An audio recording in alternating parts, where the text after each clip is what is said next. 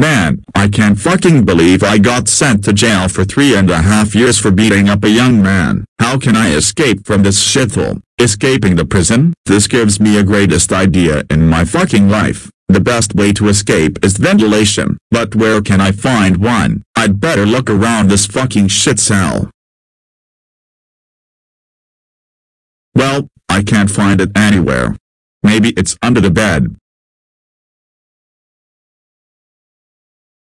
Yay, I found it. Yay yay yay. It's time to get the fuck out of here before these piggies come here.